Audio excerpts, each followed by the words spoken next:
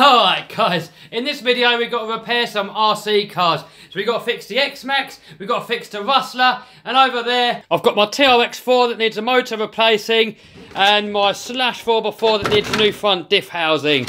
I've just had a few bits turn up, because we've got a new radio, and the idea of this is so I can do rear wheel steering on my Wheelie King. A new motor for the TRX4, diff cases for the Slash. Ah, actually, UDR's got broken chassis, so these are going to have to go on at some point. I don't think it'll be this video. And a few other bits and bobs. So this one should be a relatively easy fix. It's got a broken shock tower, and you'll see that in a minute.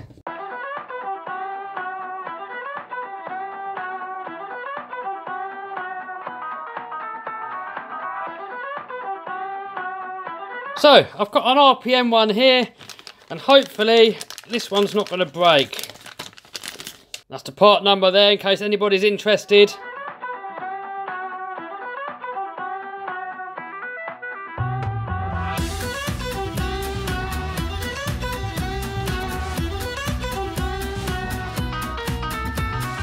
So, that's all fixed again. As you can see here, look guys, that's where it broke.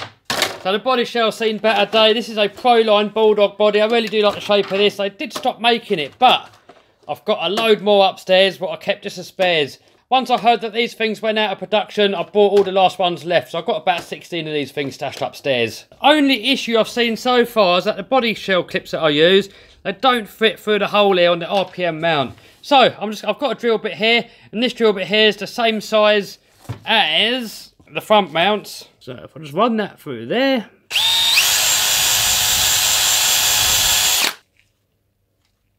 Perfect. Let's move over to the X-Maxx. So, this body shell on here, I wasn't actually planning on running it, so I don't know if you saw that last video, but the plan was just to bring it up there and just use it to get a few thumbnail pictures, because I've noticed that if I've got a nice body shell on there, my videos get more views. So I kind of thought, well, I'll put this on as a thumbnail body, then I put the old Russian indestructible body in for when I'm actually running it. But I got a little bit carried away, and yeah, it's quite beaten up already. All the screw holes are pulled through, all of them, apart from the back two. Damage-wise on the car, uh, front bumper was already broken, so I can't really include that. One of the front shocks, this one here, it's gone sticky. It's gone stiff and it's sort of staying wedged down. And not only that, it's leaked all the oil out of there. So I'm going to have to take that apart and have a little look what's going on in there. Um, looking round the back, the diff case is smashed and you can see the diff in there, look. So I've got to take this apart, take the diff out, give it a clean out, put a new cap on there, and it should be good to go. So really, I've, all I've got to do is bumper, shock, and diff cover. All right, let's start off with this diff cover. By the way, I'm using the hand tool here because these screw heads here, there's not much meat left, and I don't really want to risk stripping off the hex.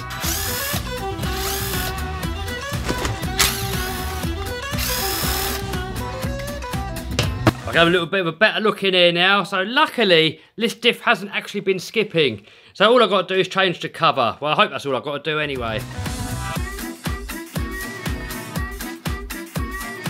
Actually, looking at this, it's lucky that this diff didn't start stripping, actually, because if you look at this, it's actually broken off the bottom two lugs and the centre one. So how this hasn't been skipping around in there, God only knows. So I've just got to get all that dirt out of there, it's all full of grass and stuff. Alright, so I've got to give all that a nice little clean up, guys. I'm going to turn the camera off because I'm not going to bore you with the whole process, but it's going to take me a good 10 minutes to get that nice and clean, and then I'll put you back on. Alright, so it's all nice and clean in there now. All I've got to do now is re-grease it. People always say, what grease do I use? And to be honest, you can just use any general purpose automotive grease, like bearing grease. This stuff's got PTFE in there, but it really doesn't have to. You know, any sort of general purpose grease will do. Get a nice dollop of that round there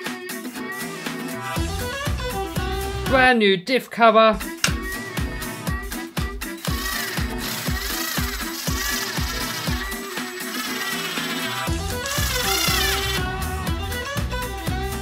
Ah, damn it, I forgot to put the shafts back in.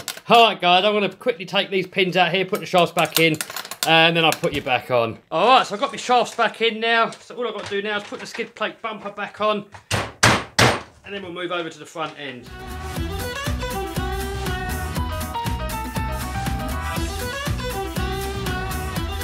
Alright, front end time. So let's get this bumper off first.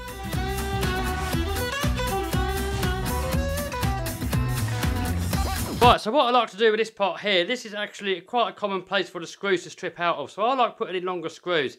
So I find the drill bit that fits in the existing hole.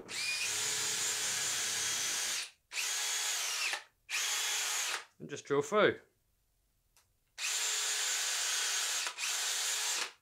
So now we can go ahead and put in longer screws. And even if that screw does pull out, we could even put a nut and a bolt through there eventually. Alright, so next, let's have a look what's going on with this shock.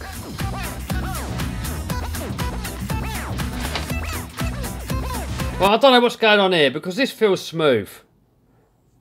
It feels perfect. I really don't know why it was jamming up. But it's definitely leaked a little bit of oil out of there. So we definitely got to open it up and have a look what's going on.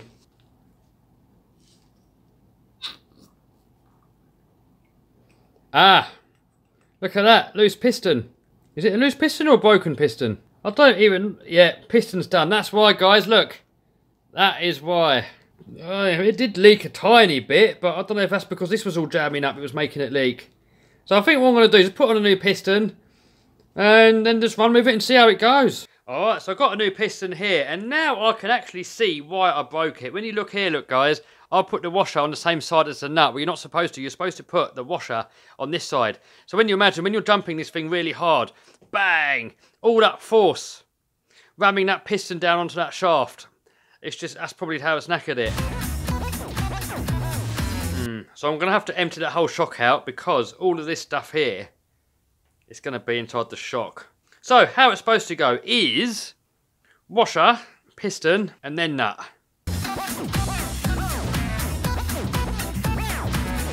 Yeah, uh, there goes a bits of plastic. Look, guys. Can you see it? Alright, so I put this 300 CST oil in there. Probably not enough there. Alright, brand new one. So I'll normally just fill it up just until we get to where the threaded part of the body is. Now really when you when you do these you're supposed to do it from this end but it's a lot easier just to do it from this end and I've never had any problems doing it this way. And we're only bashing, we're not racing so it doesn't really matter if it's not perfect perfect.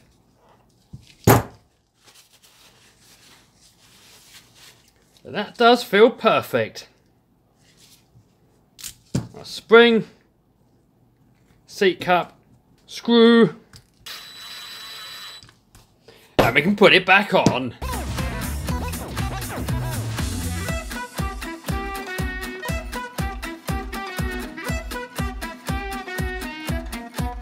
Alright, so that's the X-Maxx all put back together again, ready for another day's bashing. So next, let's have a little look at the slash. So I've already stripped this down, guys, and there, that is in another video. I'm going to put a link to that up in the top here somewhere.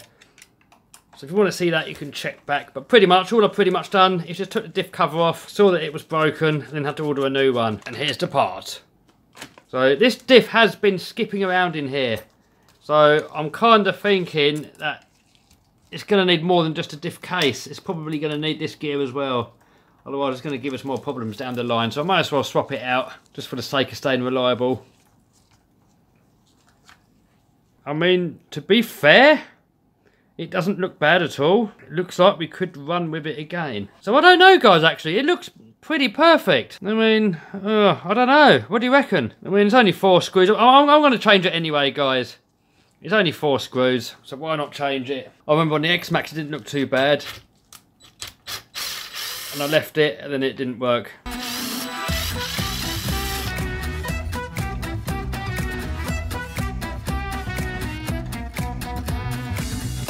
Here's a nice shiny new one.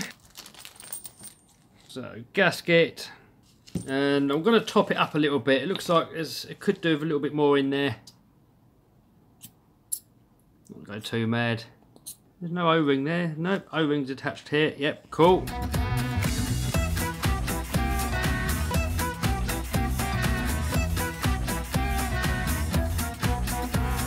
Bearings are still relatively free. I would give these bearings a service normally. I'd normally ping these shields off, make sure they're all perfectly clean. But this car's due a rebuild anyway. I'm going to put new bearings in everything soon anyway.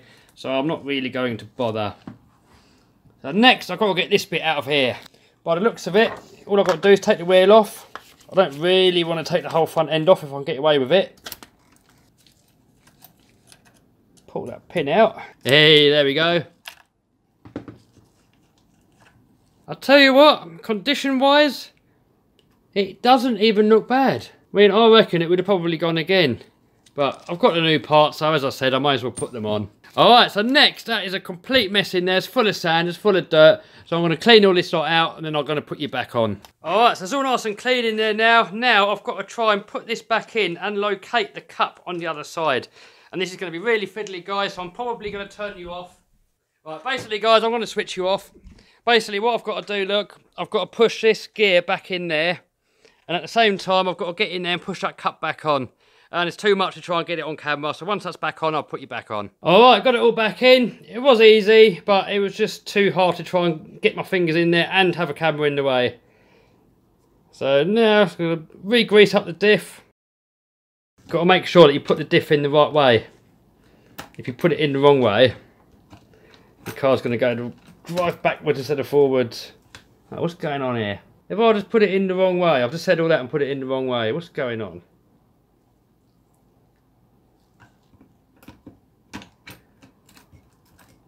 That way? Forward, back. That's it. See, I ne nearly put the diff in the wrong way around there, guys. Luckily on this car, it's got different size bearings both sides. So that's the way I noticed, otherwise I would have put it all back together. Uh, new diff cap.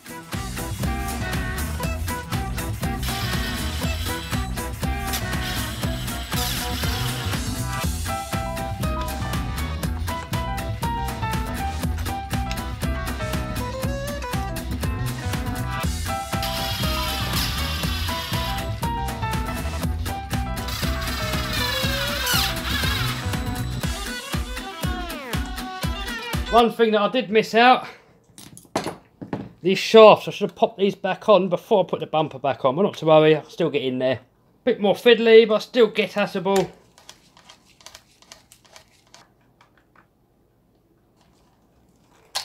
And there we have it, one healthy slash. So I think I'm going to do this in a separate video, guys. I mean, I'm not going to fully rebuild it yet, but I do want to sort out the servos. I do want to sort out the receiver. I do want to sort out all the diff locks. But I'm not going to fully rebuild it just yet because I still want to do some water crossings with it and stuff like that. But I've got to replace the shock shaft. I've got this brand new motor here to put into it. Um, and that's pretty much it. Just get this thing up and running. So that's going to be in a separate video. Alright, so that's it for this video, guys. Make sure you check out my RC Basher school that I made. I'm going to put a link to that down below. So, alright, guys, I hope you liked this video. If you did, give us a thumbs up, subscribe, smash the bell button to stay notified. See you soon. Bye.